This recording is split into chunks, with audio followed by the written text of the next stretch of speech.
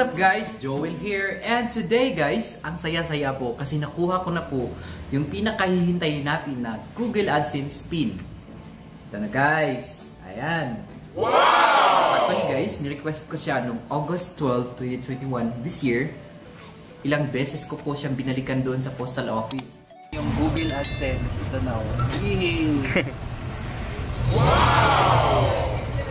Ayan oh. So ang dami dito guys. Makakasahod na. Kunin natin sa bahayan. Kunin talaga dito sa may post office. Ayan. Ito yung Google AdSense. So, uh, okay na. Hi Makakasahod, ma'am! Nara ma'am! makakasahod na. Makakasahod na guys. AdSense. Ito pala si Ephraim. Vlogger din siya guys. Guys, pauwi na kami. So sakay lang kami ng motorsiklo. Yan. Sa wakas, nakuha ko din. Buksan natin itong ating Google AdSense pin. Sinabi niya na cut here. Dali na natin. Ayan.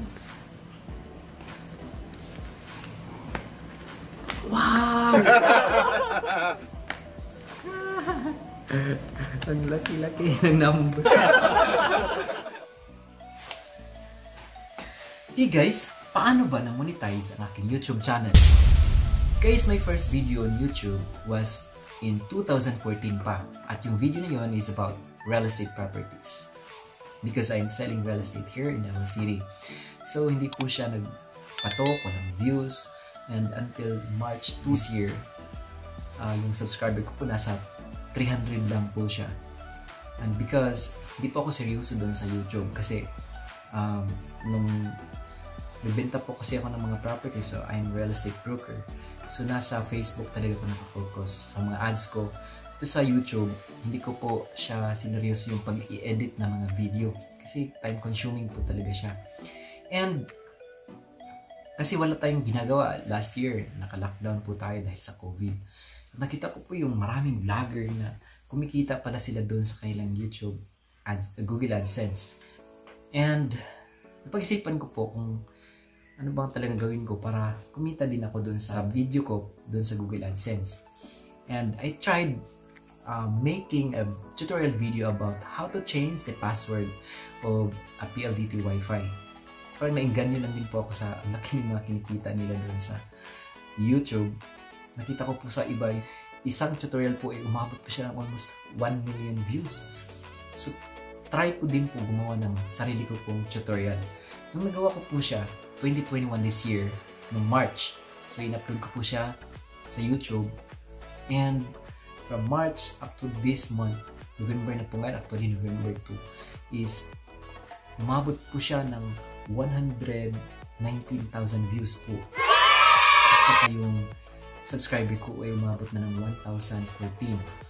Guys, maraming salamat po sa pag-subscribe at sa panonood ng video. Kasi natulungan niyo po ako na hit yung 4,000 watch hour and 1,000 subscribers sa Google AdSense requirement. Ang hirap po ng requirement ni YouTube. Uh, isipin mo, 4,000 watch hour po, ang tagal po nun. Na-hit ko po siya noong August this year. Nasa 5 months po siya na hinihintay ko po. Ma-hit ko yung requirement ni Google AdSense. Uh, automatic pala nagsisend si Google AdSense ng PIN. At yung PIN, isi-send niya po dito sa atin. Ayan.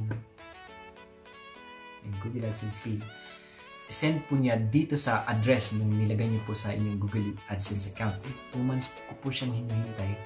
Nag-try akong mag-research paano nila natanggap yung Google AdSense PIN at may mga vlogger po kasi na nagsabi na puntahan daw sa pinakamalapit na postal office. Yun guys, totoo pala.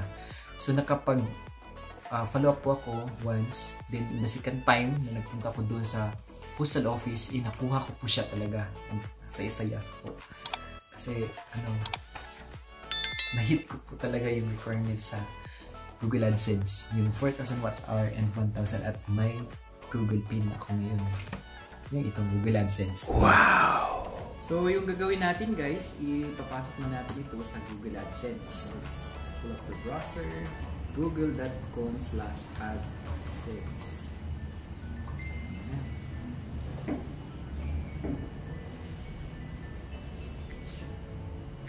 So, verify natin.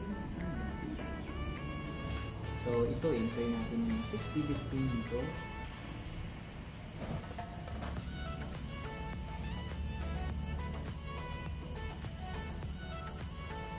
Mhm. Completed.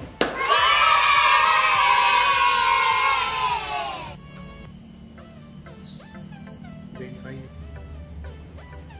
last payment. Yan guys. So guys, sa mga hindi pa nakakuha ng kanilang Google PIN, sabihin ko guys, kailangan puntahan niyo po sa mga pinakamalapit na postal office sa inyong lugar. Kasi minsan, hindi po siya na-deliver doon sa mga bahay. So kailangan niyo po puntahan yung Google AdSense PIN para makuha niyo po. Kasi yung nakita ko doon, may naka-request na ng apat. Maraming vloggers pala dito sa aming lugar. At nakita ko may 4 Google AdSense PIN na po siya na dumating na hindi po niya na-claim doon sa postal office.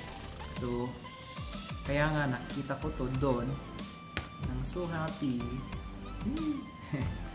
And guys, kung bago ka pa lang po sa aking channel, paki-subscribe na po at leave your comment below kung meron po kayong mga katanungan.